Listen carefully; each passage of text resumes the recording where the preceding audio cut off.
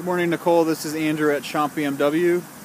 Um, just thought I'd shoot a video uh, of our 2008 pre-owned